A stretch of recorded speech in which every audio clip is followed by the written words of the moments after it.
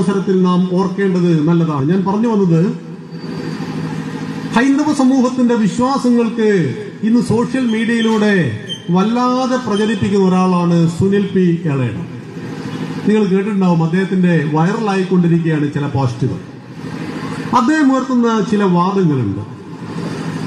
ഈ വാദങ്ങൾക്ക് ചുരുങ്ങിയ സമയം കൊണ്ട് മറുപടി പറയുവാൻ ഞാൻ ആഗ്രഹിക്കുന്നു. കാരണം ഹിന്ദുക്കളെ വല്ലാതെ കൺഫ്യൂഷൻ ആക്കുന്നുണ്ട് ഇദ്ദേഹം. നല്ല ഭാഷയാണ്. തോന്നിയാസ് ഒന്നും പറയില്ല. അദ്ദേഹം ഒരു കോളേജ് അധ്യാപകനാണ്. മലയാളത്തിലെ ശുദ്ധമായ ഭാഷ ഉപയോഗിച്ചും ചൂടായിട്ട് സംസാരിക്കുകയും ചെയ്യില്ല. അതുകൊണ്ട് ചിന്താശേഷിയുള്ള വായനാശീലമുള്ള ആളുകൾക്കിടയിലേക്ക് ഇത് കയറി ചെന്നിട്ടുണ്ട് എന്നും ഇദ്ദേഹം ഒരു മഹാസംഭവമാണ് എന്നും പറയുന്നു. അദ്ദേഹം ഉയർത്തിയ ചില വാദമുഖങ്ങളുണ്ട് അദ്ദേഹം പറയുന്നത് ഒന്നാമത്തേത് ആചാരങ്ങൾ ലംഘിക്കാനുള്ളതാണ്. ശ്രീനാരായണ ഗുരുദേവൻ ആചാരങ്ങളെ ലംഘിച്ച ആളാണ്. കേട്ടാൽ നമുക്ക് പെട്ടെന്ന് ശരിയല്ലേ എന്ന് തോന്നിപ്പോവും. ആചാരങ്ങൾ ലംഘിക്കാനുള്ളതാണെന്ന് സുനിൽ പി ഇലേടം പറഞ്ഞാൽ അഞ്ചു നേരം പള്ളിയിൽ പോകണമെന്ന ആചാരത്തെ നിങ്ങൾ ലംഘിക്കുമോ? അതില്ല. അഞ്ചു നേരം ബാങ്ക് വിളിക്കണമെന്ന ആചാരം ലംഘിക്കാനുള്ളതാണോ? അത് ലംഘിക്കാൻ പാടില്ല. ഞായറാഴ്ച പള്ളിയിൽ പോകണമെന്നും മാമോദിസ മുക്കണമെന്നും ആചാരം ലംഘിക്കാനുള്ളതാണോ? അത് ലംഘിക്കാനുള്ളതല്ല. പക്ഷെ ശബരിമലയിലെ ആചാരം ലംഘിക്കാനുള്ളതാണ്. ശബരിമലയിലെ ആചാരം ലംഘിക്കാനുള്ളതാണ് എന്ന് സുനിൽ പി ഇളയിടത്തിനെ പഠിപ്പിച്ചപ്പോൾ തന്നെ ഇസ്ലാമിക ക്രൈസ്തവ ആചാരങ്ങൾ ലംഘിക്കാൻ പാടില്ലാത്തതുമാണെന്ന് അദ്ദേഹത്തെ ആരോ പഠിപ്പിച്ചിട്ടുണ്ട്. ഈ മീഡിയ വണ്ണിന്റെയും മാധ്യമത്തിന്റെയും ധാരാളം അവാർഡ് അദ്ദേഹത്തിന് കിട്ടിയിട്ടുണ്ട്. അവാർഡ് മാത്രമല്ല നല്ല കടുപ്പത്തിൽ അതിന്റെ കൂടെ വലിയ വലിയ കവറും കിട്ടാറുണ്ട്. ജീവിത പ്രശ്ന. അദ്ദേഹത്തിനെ പോലെയുള്ള സാഹിത്യകാരന്മാർ ഹിന്ദുവിനെ മാത്രം അവഹേളിക്കുകയും നിന്ദിക്കുകയും ചെയ്യുന്നത് അവാർഡും കൂടെ കിട്ടുന്ന പണത്തിനും വേണ്ടിയിട്ടാണ്. ആചാരങ്ങളെ ലംഘിച്ചു ശ്രീനാരായണ ഗുരുദേവൻ എന്ന് പറഞ്ഞാൽ ഗുരുദേവനെ അവസാനം ഹിന്ദു അല്ലാതാക്കി തീർക്കുന്ന പരിപാടിയാണ് നടത്തുന്നത് അദ്ദേഹം പറയുകയാണ് ഇതാണ് ശ്രീനാരായണ ഗുരുദേവന്റെ സമ്പൂർണ കൃതികൾ. ഒരു പ്രാവശ്യം ഈ സാഹിത്യകാരൻ ഇത് വായിച്ചിരുന്നുവെങ്കിൽ ഈ മണ്ടത്തരം എഴുന്നള്ളിക്കുമായിരുന്നില്ല. ശ്രീനാരായണ ഗുരുദേവൻ ഹിന്ദു സന്യാസിയല്ല അദ്ദേഹം മതേതര സന്യാസിയാണ്. എന്താണ് ഈ മതേതരത്വം? ഒന്നാം ക്ലാസ്സിൽ പഠിക്കുന്ന കുട്ടിയോട് ചോദിക്കുന്നു നീ ഹിന്ദു കുട്ടിയാണോ? ഒന്നുമില്ല. നീ മുസ്ലിം കുട്ടിയാണോ? പിടിച്ചോ ആയിരം. നമ്മുടെ ക്ലാസ് മുറികളിൽ നമ്മുടെ മക്കളോടും മതവും ജാതിയും ചോദിച്ച് അവരെ വേർതിരിച്ച് സ്കോളർഷിപ്പ് കൊടുക്കുന്നതാണ് ഇവിടുത്തെ മതേതത്വമെങ്കിൽ ആ മതേതത്വത്തിൽ ഞങ്ങൾക്ക് വിശ്വാസമില്ല. പട്ടിണി കിടക്കുന്നവരോട് മതം ചോദിക്കരുത് എന്ന് പറയുന്ന ആർ എസ് എസുകാരൻ വർഗീയവാദി. പട്ടിണി കിടക്കുന്നവരോട് മതം ചോദിച്ച് സ്കോളർഷിപ്പ് കൊടുക്കണമെന്ന് പറയുന്ന സി പി എമ്മുകാരനും കോൺഗ്രസ്സുകാരനും ദേശീയവാദി. ഇതെന്തൊരു കഷ്ടം ആലോചിച്ച് നോക്കൂ നിങ്ങൾ. ശ്രീനാരായണ ഗുരുദേവൻ മതേതരവാദിയാണോ? ശ്രീനാരായണ ഗുരുദേവൻ ആചാരങ്ങളെ ലംഘിച്ചിരുന്നോ? ശ്രീനാരായണ ഗുരുദേവൻ മുപ്പത്തിയാറ് അമ്പലം പ്രതിഷ്ഠിച്ചിട്ടുണ്ട്. ഒന്ന് ചെന്ന് നോക്കുക മിസ്റ്റർ സുനിൽ പി ഇളയടൻ കോഴിക്കോട് ശ്രീകണ്ഠേശ്വര ക്ഷേത്രം. തലശ്ശേരിയിൽ ജഗന്നാഥ ക്ഷേത്രം. കണ്ണൂരിലെ സുന്ദരേശ്വര ക്ഷേത്രം. ഒരിടത്തും അദ്ദേഹം ചന്ദ്രക്കലയോ കുരിശോ പ്രതിഷ്ഠിച്ചിട്ടില്ല. പ്രതിഷ്ഠിച്ചതെല്ലാം തന്നെ ശിവനെ സുബ്രഹ്മണ്യനെ ദേവിയായിരുന്നു. പിന്നെ ചില വിഡ്ഢി സാഹിത്യകാരന്മാർ പറയാറുണ്ട് അദ്ദേഹം കണ്ണാടി പ്രതിഷ്ഠിച്ചു. ഇവർ പോയി നോക്കിയിട്ടുണ്ടോ? ശ്രീനാരായണ ഗുരുദേവൻ കണ്ണാടി പ്രതിഷ്ഠിച്ചിട്ടില്ല. കണ്ണാടിക്ക് മധ്യത്തിൽ ലോ മേഘാക്ഷരം ബ്രഹ്മ പ്രണവാകാരമാണ് അദ്ദേഹം പ്രതിഷ്ഠിച്ചത്. ആ ശ്രീനാരായണ ഗുരുദേവൻ അമ്പത്തിയെട്ട് കൃതികൾ എഴുതിയതാ ഇതിലുള്ളത്. ഈ അമ്പത്തെട്ട് കൃതികളിൽ ഒന്നാമത്തെ കൃതിയുടെ പേരാണ് വാസുദേവാഷ്ടകം. ക്ഷമിക്കണം വിനായകാഷ്ടകം. വിനായകനാര? ഗണപതി. ഗണപതി കഷ്ടകമാണ് രചിച്ചത്. രണ്ടാമത്തേത് വാസുദേവാഷ്ടകം മഹാവിഷ്ണുവിന്. സുബ്രഹ്മണ്യ സ്തോത്രം. പിന്നെ ഈ ഗുരുദേവൻ എന്തു പറഞ്ഞു എന്നാണ് നമ്മളെ കുറിച്ച് സാഹിത്യകാരന്മാർ പഠിപ്പിക്കുന്നത്. ഒരു ജാതി ഒരു മതം ഒരു ദൈവം മനുഷ്യന്. പിന്നെ ഗുരുദേവൻ ഒന്നും പറഞ്ഞില്ലേ? പറഞ്ഞു. മതമേതായാലും മനുഷ്യൻ നന്നായാൽ മതി. ഈ രണ്ട് വാക്കേ ഗുരുദേവൻ പറഞ്ഞിട്ടുള്ളൂ. ഇത് രണ്ടും മതേരത്വമല്ലേ ഗുരുദേവൻ പറഞ്ഞിട്ടുണ്ട് എന്ത്?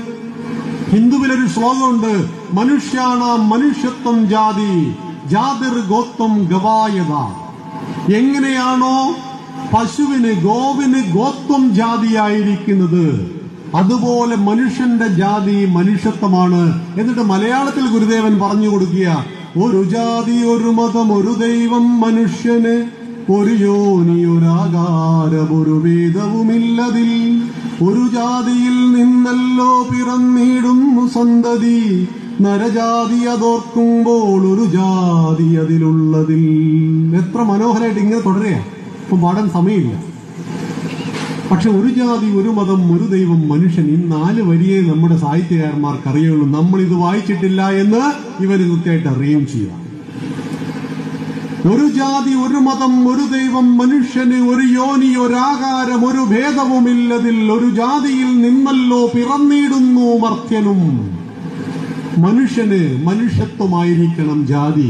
ഇത് പറയാനൊരു ഹിന്ദു സന്യാസിക്ക് പറ്റുള്ളൂ ഇത് പറഞ്ഞവനാണ് ഹിന്ദു സന്യാസി. കാരണം ലോക സമസ്ത സുഖിനോ ഭവന്തു എന്ന് പറഞ്ഞ് നമ്മൾ വസുദൈവ കുടുംബകം എന്ന് പറഞ്ഞു. ഈ ലോകം തന്നെ നിന്റെ കുടുംബമാണ്.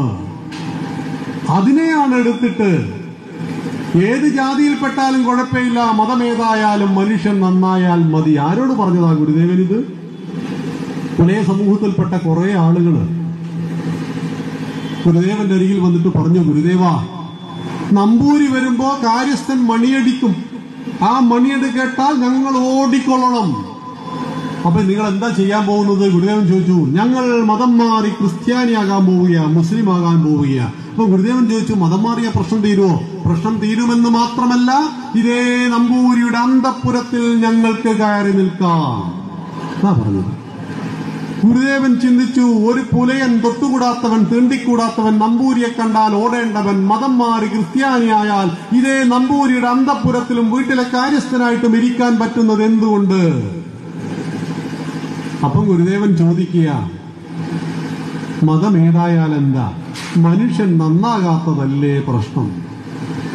ഹിന്ദുക്കൾ കൂട്ടത്തോടെ മതപരിവർത്തനം ചെയ്യപ്പെടുന്നതിൽ വിഷമമുള്ള ഗുരുദേവൻ ആ ഹിന്ദുവിനോട് പറഞ്ഞു കൊടുത്ത വാക്കാണ് ഈ നമ്പൂരിമാര് നന്നാവാത്തതാണ് കാരണം. അല്ലാതെ നമ്മുടെ പവിത്രമായ ധർമ്മത്തിന്റെ ഭാഗമല്ല ഈ ജാതീയത. തൊട്ടുകൂടായ്മ തീണ്ടിക്കൂടായ്മ.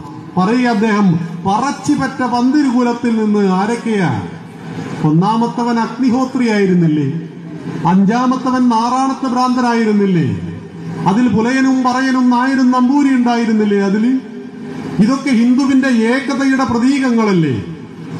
ഭഗവാൻ വേദവ്യാസൻ വ്യാസോച്ചിഷ്ടം ജഗൽ സർവം. ആരാ അമ്മ?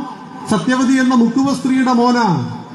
വിശ്വോത്തര ഗ്രന്ഥമായ രാമായണം നമുക്ക് നൽകിയ വാൽമീകി മഹർഷിയുടെ അമ്മയുടെ പേരെന്താ?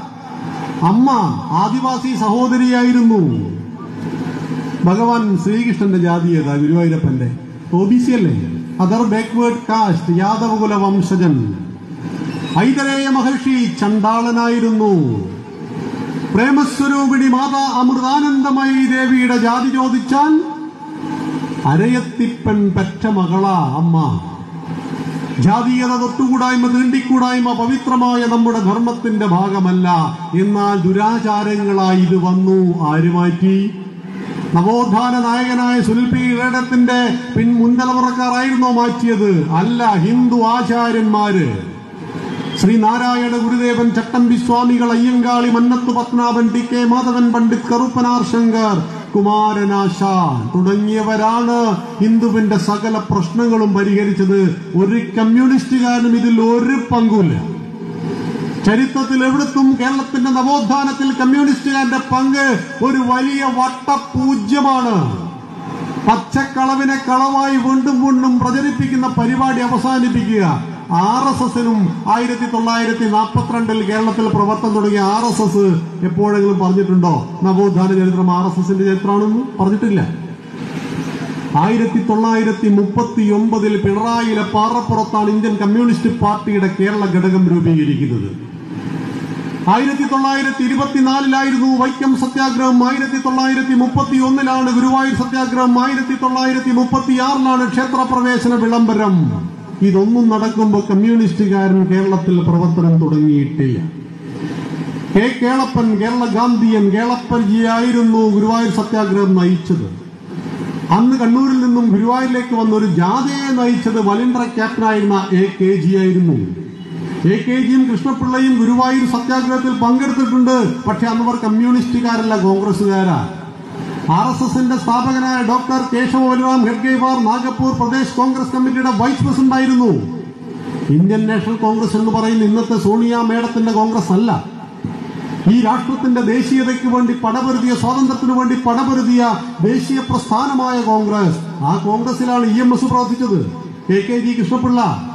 ഇവർ കമ്മ്യൂണിസ്റ്റ് പാർട്ടിയിലേക്ക് വരുന്നത് നാൽപ്പതുകൾക്ക് ശേഷം അപ്പൊ മുപ്പത്തി ഒന്നിലും മുപ്പത്തിയാറിലും ഇരുപത്തിനാലിലൊക്കെ നടന്ന നമ്മുടെ നവോത്ഥാന സമരത്തെ ഏറ്റെടുക്കണ്ട.